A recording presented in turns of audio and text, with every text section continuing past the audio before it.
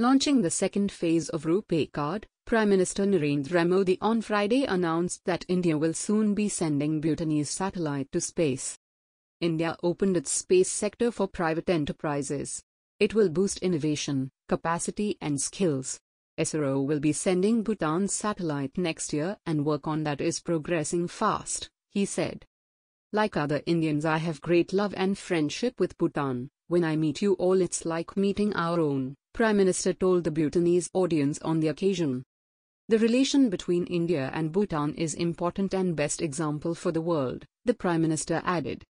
He said he is happy that 11,000 transaction took place through RuPay card in Bhutan, and if the COVID pandemic would not have hit the volume could have been greater. From my visit to Bhutan, in the phase 1 of RuPay card launch, till now, 11,000 successful RuPay transactions have taken place in Bhutan. Today with the launch of phase 2, we welcome Bhutan as a full-time partner in the RuPay network, Modi said. Prime Minister along with Bhutan Prime Minister had launched the first phase of RuPay card last year during his visit. Prime Minister of Bhutan lauded Modi's efforts in tackling the pandemic. The Excellencies, Prime Minister Narendra Modi, leadership in tackling the pandemic at home is highly commended, Lotay Tshering said. I am sure India will come out much stronger from the pandemic.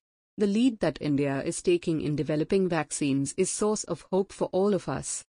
The Bhutan Prime Minister thanked India for promising to provide vaccine when it is ready.